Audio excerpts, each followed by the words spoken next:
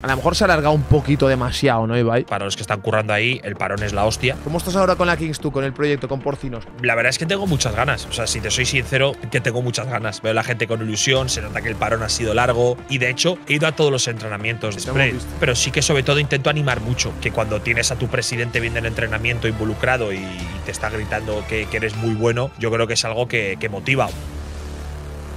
¿Qué dice el Ibai? Entro Discord, solo puedo media hora. Buenas noches, ¿cómo estamos? Contento, feliz, emocionado. ¿Y eso? No, ¿Y porque eso? vuelve la Kings, tío. Eso siempre, siempre motiva. Ya sabes que a mí siempre me motiva eso. Vuelve la Kings. Sé que a ti, bueno, no es uno de los proyectos que tengas más, más en mente, ¿no? Por lo que veo, Ibai. Dijiste el otro día. No, no, no te inventes cosas tampoco, ¿no? ¿Viste el draft ayer? La verdad es que no lo vi. No lo vi sobre todo porque, bueno, al final yo creo que tenemos un equipo ya preparado para, para que me digan los jugadores que, que son buenos. Yo es que ahí pinto poco. En el draft anterior no hice absolutamente nada y en este tampoco. No tengo el conocimiento suficiente ni, ni he invertido las horas suficientes como para decidir quién es bueno o quién es malo. El formato lo viste, ¿no? Un poco has visto por encima, me imagino. Sí, Formato, sí. tal. No, no, O sea, el, formato, el formato lo vi, sí, sí, estuvo divertido. ¿Crees que está guapo este formato y que lo retransmitan así para la peña y que la peña pueda elegir? ¿O está un poco adulterado, sabes, también a la vez? A ver, la alternativa a esto es no hacer nada. Entonces yo creo que que haya algo está bien, porque la última vez fue así muy privado. Pero bueno, puede ser un poco injusto que la gente elija, porque justo estaba viendo un rato tu directo y decías que, claro, había gente que si te cae mejor le votas más, que si de repente aparece la abuela y ya, yo que sé, cuenta algo personal, Claro. tienes como más empatía. También te digo que la propia Kings League se equivocó también en su día. Eh, yo recuerdo que Nadir creo que no pasó las pruebas del draft, si no me equivoco, y creo que hay más ejemplos que se quedaron fuera. Te quería preguntar, Ibai, tío, ya que hace un montón, ya hace un montón que no hablamos. La última vez que hablamos, ¿cuándo fue?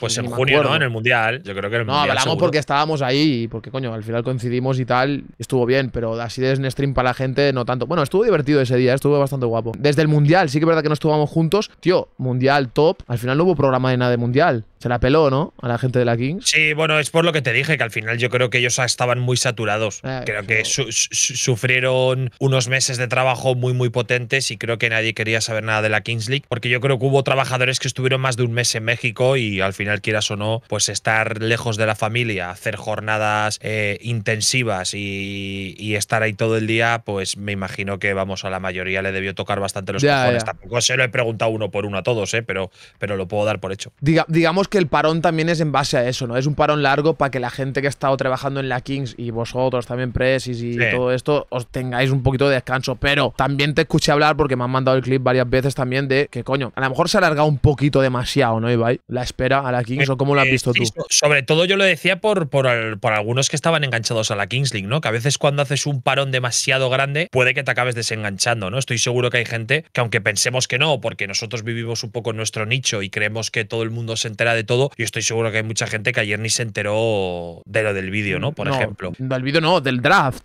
Del draft Bueno, y mismo. del draft. Y, y del draft también, por supuesto. Entonces, al final, eh, ese es un poco el problema cuando haces un parón tan grande. Claro, para los presidentes y los propios trabajadores, eh, sobre todo para los, los, los trabajadores, para los que están currando ahí, el parón es la hostia. Pero bueno, yo sobre todo hablaba de, yo qué sé, se podía igual haber vuelto este domingo, ¿no? Este domingo yo creo que era una fecha ideal porque había parón de selecciones, pero yo me imagino que la Kings League tiene sus propios timings. Habrán dicho, es que si volvemos este domingo, igual el vídeo que vimos ayer no sale adelante. Entonces, al final dijeron, mira, para no pillarnos los dedos, 15 de septiembre y la Queens League el 21 y, y ya está. Ya, ya. Bueno, yo creo que para el año que viene algo se pensará para que no sea tan desconexión, ¿no? Digo yo. Yo, tío, haría sé. algo. Ibai, no sé. No lo sé. Algo. Ya. Un, pa- un Aunque sea un mercado, ¿no? Que yo es un poco lo que dije. Es que dije, para mí lo mejor si es era que, mercado. eh, ni siquiera hace falta competición, ¿no? Eh, en el LoL, por ejemplo, también hay un parón no tan grande, son dos meses. Bueno, es un poco como la Kingsley, quizá algo menos, pero claro, hay un mercado de por medio que es la hostia. O sea, la gente está enchufadísima y es al final uno de los mejores momentos del año porque Claro. los equipos cambian enteros. Claro, si eso, eso pasó algo similar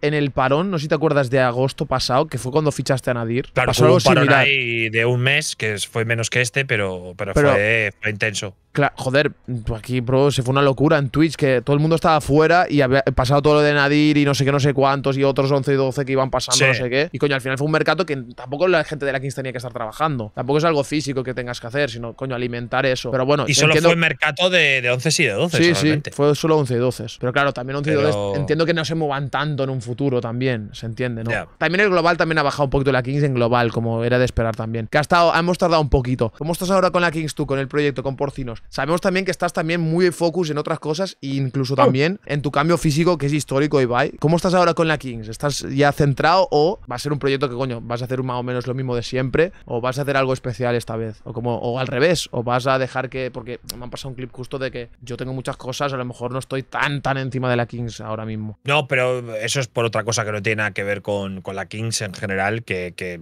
es, es, una gilipollez, no, no, no tiene nada que ver con que deje la Kings ni. No, no, no tiene nada que ver. La verdad es que tengo muchas ganas. O sea, si te soy sincero, no he hecho nada de Kings League en todo el verano. O sea, he hecho el verano que menos cosas he hecho y he delegado un montón. Pero ahora que queda una semana, mm, yo creo que, que tengo muchas ganas. Veo a la gente con ilusión, se nota que el parón ha sido largo. Creo que va a ser una semana muy movida. Va a ser una semana muy, muy movida también y, y va a ser divertido. Entonces, al final es un proyecto al que le tengo mucho cariño. No, no deja de ser un proyecto eh, que solamente en premios eh, el equipo ha ganado 1.1 millones de euros, eh, que, locura, que, se lo ha llevado a los jugadores, es locura. Ya no solo por lo que es la cantidad del premio, sino lo que implica ganar, el haber ganado la Kingdom Cup, que no existe, pero para mí fue muy especial porque involucraba a todo el club y el Mundial en el que estuve más de 20 días en México y competimos contra Italia, Turquía, Brasil, España y LATAM, ¿no? Tuvimos un poco esa suerte de, de casi enfrentarnos a, a, a, todos los países que, que, participaban, o sea que le tengo un gran cariño, incluso a las derrotas, ¿no? Eh, Final Four del Metropolitano, eh, los penaltis de aniquiladores en el primer split, que competir mola mucho, tiene la parte mala de perder, pero que, que es un proyecto, tío, que, que, está muy divertido y de hecho he ido a todos los entrenamientos de, de, hemos visto, de este Visto. verdad que cada vez que voy allá a un pueblo o un barrio a entrenar se lía una de cojones, eh, pero, pero está, está siendo divertido. Es verdad que no sé si me sale muy rentable ir a ver el entrenamiento, porque noto que el equipo rival se motiva además, entonces el partido se calienta mucho y de hecho tuvimos un poco una desgracia ¿no? en el último entrenamiento. Eh, pero bueno, es, es, un método que hice durante el Mundial y nos funcionó muy bien, eh, que yo empecé a ir a todos los entrenamientos y metía mucha caña en los, en los partidos amistosos y, y nos fue muy bien. ¿no? De hecho recuerdo que hubo un árbitro mexicano que, que, me, que me echó de, de, de un entrenamiento. Eh, sí, porque, sí. porque en México había, en los amistosos del Mundial había árbitros, ¿no? Ahora generalmente no, no Claro, para curtirse, para, entre, para. Bueno, para que el partido fuese lo más real posible. Rollo escalado, Ajá, okay, eh, okay. dado, gol doble y tal. Entonces, bueno, el Mundial no, no salió muy bien. De hecho, el Mundial, eh, desde que llegó Nacho Castro con Narcís, ganamos todos los partidos, tanto del Mundial como de los amistosos. Creo que ganamos 14 seguidos. Y bueno, creo que al final el entrenamiento es clave, ¿no? Obviamente, entrenar no te hace ganar, pero curiosamente, cuando mejor entrenamos, más ganamos. Entonces, eh, yo creo que no es una fórmula exacta. El entrenar bien te asegura ganar, pero sí que creo que es el mejor camino para poder ganar. Entonces vas ahí y metes presión. Y tú notas que sientes que metes presión a tus jugadores y al otro equipo. Porque, bueno, claro, se entrena mejor, se entrena mejor. Yo, ¿Tú crees que cuando tú estás en el campo entrenan mejor tus jugadores? Yo un, poco no como, un poco como las empresas, ¿no? Que cuando está el jefe mirando, la gente como que. Eh. Bueno, yo tampoco creo que sea una parte muy fundamental, pero sí que sobre todo intento animar mucho eh, y sobre todo resaltar lo, que hacen bien los jugadores. Eh, y me gusta reconocérselo. A, Nico Santos creo que le ayudé mucho, eh, a Nadir, a varios jugadores que, que, cuando tienes a tu presidente bien del entrenamiento involucrado y, te está gritando que, eres muy bueno, yo creo que es algo que, motiva, o al menos así lo veo yo desde fuera, porque la verdad que hemos estado jugando, sobre todo en el Mundial, a un nivel en los amistosos muy, muy, muy alto, muy alto, ¿no? Ahora, es que el equipo no está terminado, es verdad que nos faltan jugadores de draft, el otro día, pues al final juega de central 10 minutos Valentín San Juan, o sea, es que ahora mismo estamos un poco rotando con los que, con los que se pueden. Y el ¿no? Valen, ¿no? Jugó Valen también, ¿no? Claro, al final piensa que hay equipos que tienen ocho jugadores, o, o, o tienen siete, o tienen nueve. Entonces, jugar un partido entero sin rotar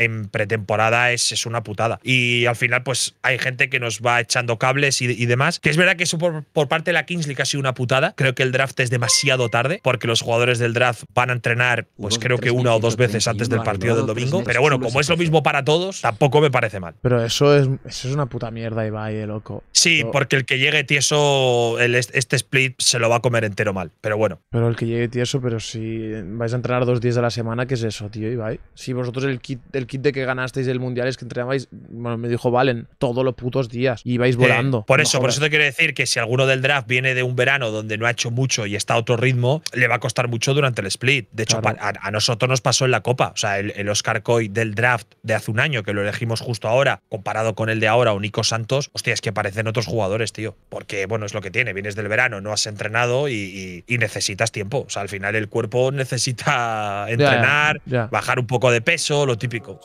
God empieza el choque. I'm on a hundred percent, girl you a ten out of ten. Boy in demand, sex in demand, love is the land. This Marco Polo and I ain't the same. I see you looking at me, you wanna be loved, you wanna be free. So many fishes in this fucking sea, but only one prince I would follow his knee.